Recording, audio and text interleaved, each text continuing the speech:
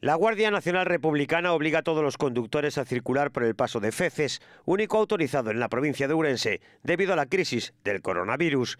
La restricción se amplía incluso a los trabajadores con permiso y a habitantes de zonas próximas a los puntos fronterizos. Los controles realizados por la Guardia Nacional Republicana se extienden también a la provincia de Pontevedra. Allí solamente se puede utilizar el paso de Tui.